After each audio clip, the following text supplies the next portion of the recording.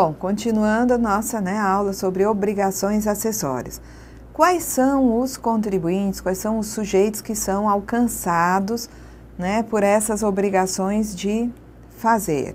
Então, nós temos aqui no parágrafo 8 né, do artigo aí 225 que o disposto nesse artigo sobre obrigações aplica-se no que couber aos demais contribuintes e ao adquirente, consignatário ou cooperativa, subrogados na forma desse regulamento. Quanto à folha de pagamento, nós temos a partir do parágrafo 9 alguns detalhamentos, algumas exigências bem detalhadas né, na confecção da folha de pagamento. Então, ela deve ser elaborada mensalmente. A folha deve ser né, elaborada de forma coletiva, por estabelecimento da empresa, por obra de construção civil e por tomador de serviço. Então, uma empresa que tenha cinco filiais e 25 obras vai ter que gerar né, folha discriminada para esses 31 tá, estabelecimentos e obras. Então, ela tem que elaborar a folha, né, na verdade seriam 31 folhas a da matriz, a das filiais e as das obras, né, individualizadas por estabelecimento, por obra de construção civil. E se for uma empresa prestadora de serviço que presta serviço para 50 tomadores, ela vai ter que elaborar a folha por tomador de serviço. E a folha tem que ter a totalização, ela tem que ter um resumo, tá? Então você pode ter vários centros de curso, aquela folha analítica, mas você tem que ter um resumo de folha. É, a folha deve discriminar nome dos segurados, indicando cargo, função ou serviço prestado. A folha deve agrupar os segurados por categoria, agrupar por categoria assim, empregados, depois os avulsos e os contribuintes individuais. A, na folha deve-se destacar o nome das seguradas que estão em gozo de salário maternidade, a folha deve destacar parcelas integrantes e não integrantes da remuneração e também os descontos legais. A folha deve indicar o número de cotas de salário família atribuídas a cada segurado, empregado ou avulso. No que diz respeito aos avulsos portuários, tá? O ógmo ele vai elaborar a folha de pagamento por navio mantendo essa folha disponível para uso da fiscalização da Receita hoje, indicando nessa folha por navio o operador portuário e os trabalhadores que participaram da operação e deve detalhar relativamente aos avulsos o número de registro ou cadastro no OGMO, que é o número de inscrição deles aí no OGMO, né? O cargo, função ou serviço prestado. Então, além de tudo que já tem na folha em geral, nome, o que, que ele faz, tudo mais, tem que ter o registro, né, ou cadastro no ógmo. Tem que ter cargo, função ou serviço prestado, os turnos que eles trabalharam, esses avulsos, e as remunerações pagas, devidas ou creditadas, a cada um dos trabalhadores e a correspondente totalização, tá? Então, folha de avulso tem que ser feita por navio, indicando operador portuário e trabalhadores avulsos que participaram daquela operação. Nessa folha, né, além do nome, tá? Vai ter que ter o número de registro de cadastro, cargo, função, serviço prestado, turnos que eles trabalharam remunerações que foram pagas a cada um dos trabalhadores e a totalização dessas remunerações. Então, no que se refere a essa folha dos avulsos né, portuários, o órgão gestor de mão de obra, além de fazer a folha por navio indicando o operador, o órgão tem que consolidar as folhas de pagamento relativas às operações concluídas no mês anterior por operador. Então, um dado operador, ele operou no mês anterior seis navios. Para cada operação, uma folha por navio daquele operador. Mas depois, no final do mês, tem que juntar todas as operações daquele operador, tá? Numa única folha. Então, deve consolidar as informações das várias operações daquele mesmo operador num único registro. E também o OGMO deve né, ter uma consolidação por trabalhador avulso. Então, aquele avulso esteve em vários navios trabalhando para vários operadores. Então, tudo que se pagou para aquele avulso no mês deverá ser consolidado num único documento. E aí, o OGMO vai indicar em relação né, aos avulsos o número de registro ou cadastro, data dos turnos trabalhados, as importâncias pagas e os valores das contribuições retidas porque é só consolidando todos os pagamentos que foram efetuados durante o mês inteiro para os avulsos que vai se saber se um avulso vai ter que pagar 8, 9 ou 11% de contribuição à Seguridade. Então, para observar o limite máximo da contribuição do avulso, o órgão gestor ele vai ter que manter um resumo mensal e acumulado por avulso dos valores de férias, 13 terceiro e contribuições previdenciárias retidas. Então, o órgão faz um controle para cada trabalhador avulso. Trabalhador avulso com registro ou cadastro número tal. Ele esteve, né, prestando serviço em operações em vários operadores, vários navios. Quanto ele ganhou de remuneração? Quanto foi o 13 terceiro? Quanto foi as férias calculadas também em cima dos do, do, da MMO, né? Que cada serviço ele recebe o avulso, o valor da remuneração, que a gente chama né, de montante de mão de obra, ele recebe 13 terceiro salário, que corresponde a 8,34% de cada valor de MMO. Cada serviço ele recebe isso. E férias, que corresponde a 11,12% do valor da, do montante de mão de obra. Então, isso aqui é a cada serviço, mas o OGMO ele vai ter que fazer um resumo mensal de tudo que o avulso recebeu, totalizando férias que ele recebeu no mês, décimo terceiro, e também o valor da contribuição retida sobre cada serviço e o valor retido no final do mês, e tem que observar sempre né, o limite máximo. Então, a partir de um dado momento, como o OGMO vai fazendo a retenção a cada serviço, pode até ultrapassar esse teto. Tá? Então, o, o avulso às vezes pode sofrer desconto acima do teto. Isso vai ser né, verificado nesse controle que é feito mensalmente, tá? através do resumo que o OGMO faz do que foi pago ao avulso.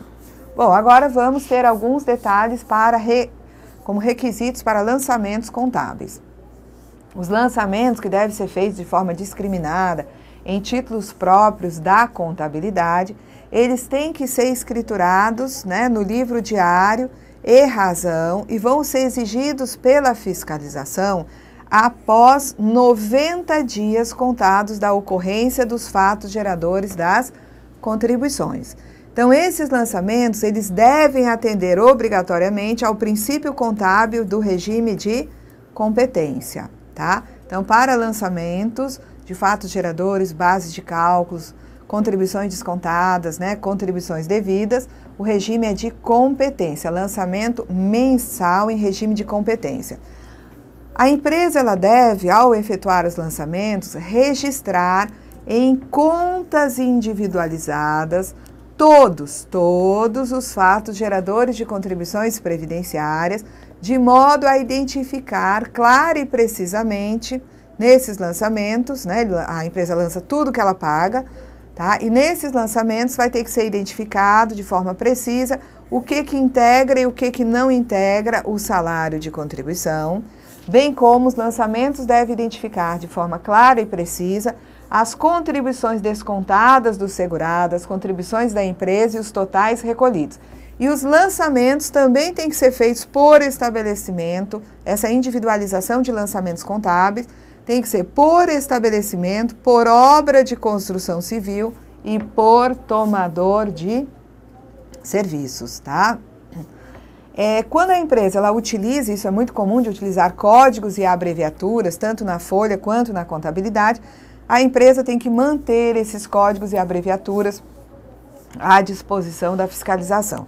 Então, a empresa deve manter à disposição da fiscalização códigos ou abreviaturas que identifiquem as respectivas rubricas utilizadas na elaboração da folha de pagamento, bem como utilizados na escrituração contábil. É, a obrigatoriedade da empresa é de cumprir normas legais relativas à contabilidade. O fato de ter que escriturar em regime de competência, de ter que lançar por estabelecimento, por obra, por tomador de serviço, de forma né, discriminada, de forma clara, todos os fatos geradores, também parcelas integrantes e não integrantes do salário de contribuição, todo esse detalhamento não afasta a obrigatoriedade de cumprir as demais normas atinentes à contabilidade. Então, a exigência prevista aqui no regulamento não desobriga a empresa do cumprimento das demais normas legais e regulamentares referentes à escrituração contábil, tá? Então, uma empresa ela tem que cumprir formalidades extrínsecas, livro registrado, tá? Intrínsecas, não pode ter rasura, ela não pode, né? É, tem que ter numeração. Quando existe a obrigatoriedade, né, de digitalizar, ela tem que fazer isso. Tá? Então, são normas que ela deve obedecer além do que está previsto no regulamento. Agora, não obrigatoriedade de apresentação de contabilidade. Epa, um erro aqui. O que, que é isso, minha gente? Isso aqui é porque eu aproveito a titulação. Então, não obrigatoriedade de apresentação de contabilidade. Quem é que está desobrigado de apresentar a escrita contábil?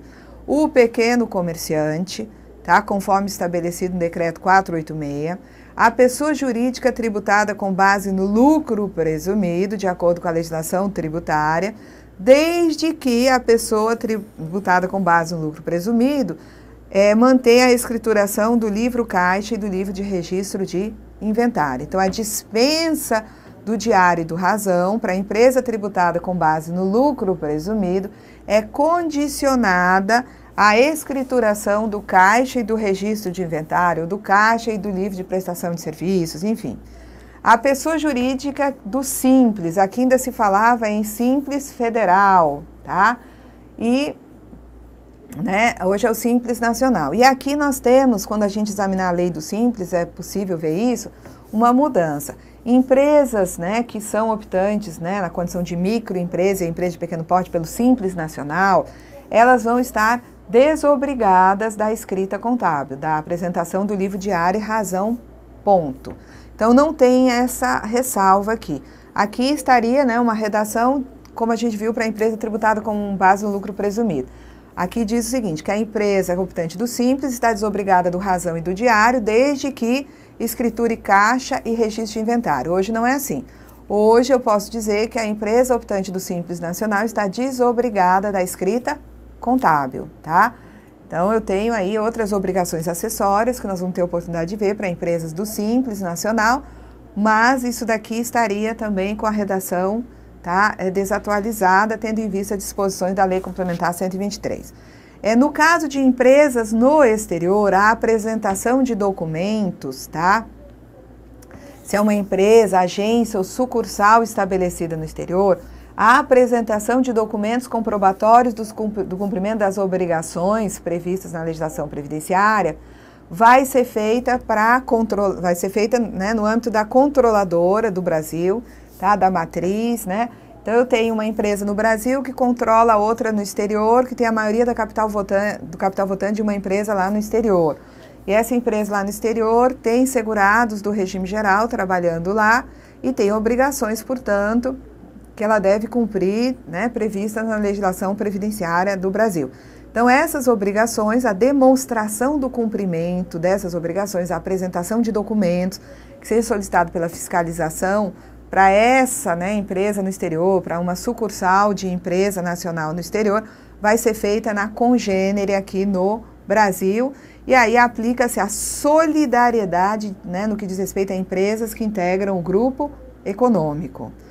É, envio de cópia de GPS ao sindicato, como ainda está prevista ali no regulamento, ele tem aqui no parágrafo 18 o detalhamento do cumprimento dessa obrigação. Ele vai dizer o seguinte, que se a empresa tem mais de um estabelecimento em diferentes bases geográficas, em cada estabelecimento ela manda a cópia da guia para né, a, a entidade sindical que represente a maioria dos trabalhadores naquela base. Então, aqui pode ser uma indústria, num outro estado pode ser né, uma filial que exerce atividade comercial. Então, são diferentes sindicatos nos diferentes estados e a guia vai para sindicatos diferentes, portanto. E a empresa que, aqui diz também que a empresa que recolhe contribuições em mais de uma GPS deve enviar cópia das diversas GPS paga para o sindicato. Essa remessa pode ser por qualquer meio que garanta a reprodução integral do documento e a empresa que envia essas cópias de GPS deve manter arquivada uma prova do recebimento da cópia da guia pelo sindicato. E cabe né, à empresa comprovar perante a fiscalização o cumprimento de sua obrigação frente ao sindicato. No que diz respeito ao OGMO, o OGMO tem a obrigação de exibir lista de escalação diária dos avulsos. Tá? Os avulsos que foram escalados para prestar serviço aos operadores naquele dia, vai ser gerada uma lista de escalação que, se a fiscalização pede, a lista tem que ser apresentada. Né? Então, o OGMO deverá, quando exigido pela fiscalização, exibir as listas de escalação diária dos trabalhadores avulsos por operador portuário e por navio e cabe exclusivamente ao OGMO a responsabilidade pela exatidão dos dados que foram lançados nas listas diárias de escalação de trabalhadores avulsos.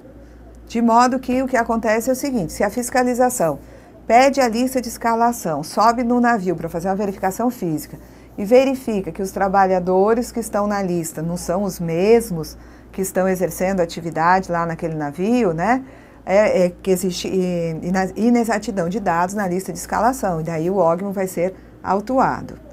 É, dispensa de cumprimento de obrigação para o contribuinte individual, aqui nessa criação de obrigação de envio de cópia de GPS ao sindicato e a fixação de cópia de guia por um mês no quadro de horário, o contribuinte individual está dispensado de fazer isso em relação ao segurado que lhe presta serviço. E hoje todo mundo está dispensado, porque a instrução normativa esclarece que isso não será exigida, a instrução normativa 971.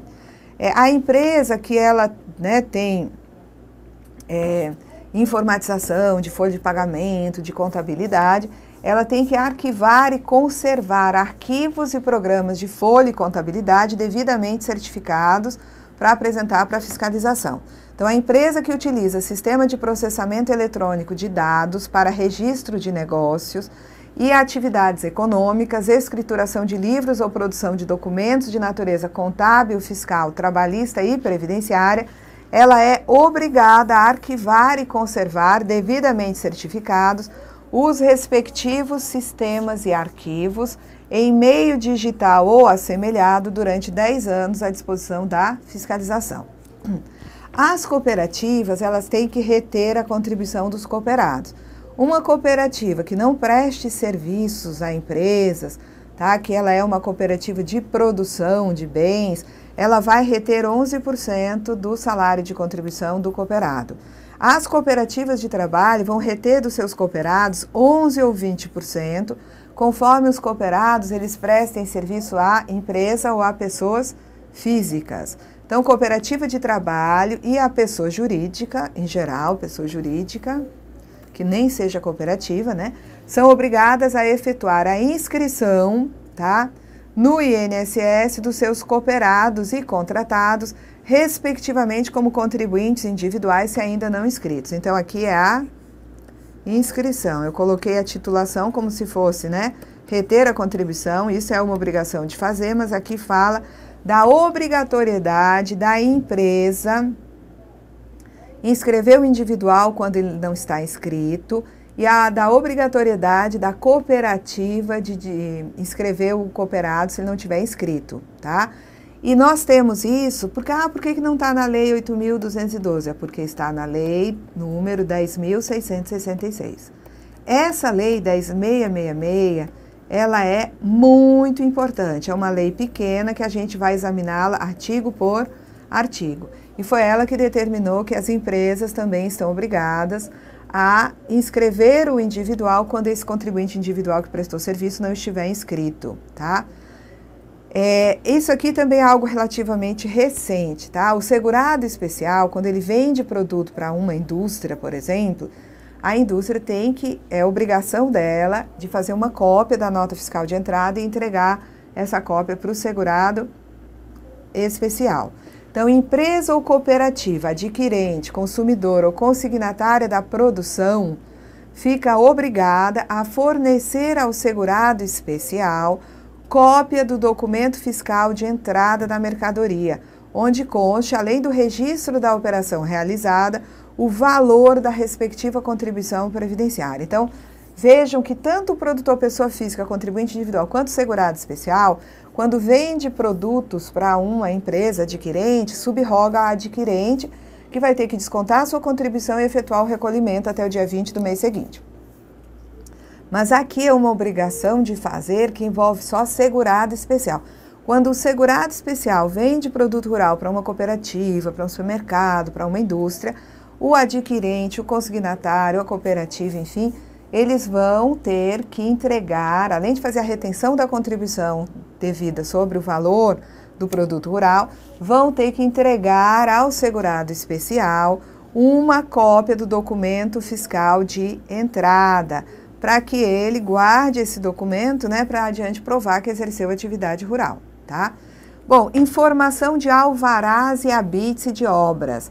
Então, é obrigação do município, tá? por intermédio do órgão competente, de fornecer à Receita Federal do Brasil hoje, para fins de fiscalização todo mês, tá? uma relação de alvarás e habite de obras de construção civil que foram concedidos.